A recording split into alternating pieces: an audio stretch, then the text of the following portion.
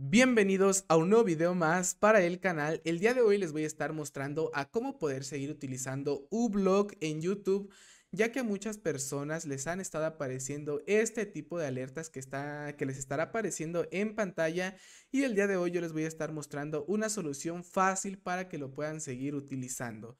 Así que muy bien, nos vamos a estar dirigiendo a Google Chrome así como lo pueden ver y nos vamos a dirigir a nuestra extensión. Una vez ya estemos por aquí, en la parte de abajo vamos a ver que tenemos esta configuración el cual dice abrir panel de control. Le vamos a estar dando clic y como pueden ver aquí en la parte de arriba nos despliega distintas funciones. Nosotros nos dirigimos a la que dice listas de filtros. Y bien, una vez ya estemos por aquí, vamos a estar dándole clic en esta parte el cual dice vaciar todas las memorias caché.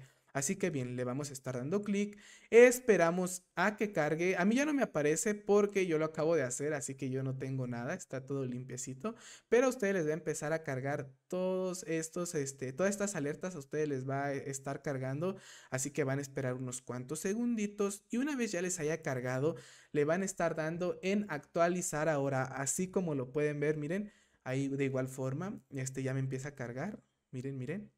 Y listo, una vez ya se encuentren de color verde, lo único que tendremos que hacer va a ser cerrar el panel de control y vamos a estar cerrando nuestro navegador. Y bien, y si les sirve, me apoyarían mucho dejándome su like y suscribiéndose. Pero bien, ahora nos vamos a volver a dirigir a nuestro navegador, nos metemos por aquí y nos venimos a YouTube. Y si ustedes se meten en cualquier video que ustedes deseen, se podrán dar cuenta de que ya les funciona a la perfección y ya no les va a estar saltando este anuncio tan molesto que la verdad es muy, muy molesto que ustedes tengan su extensión y les aparezca.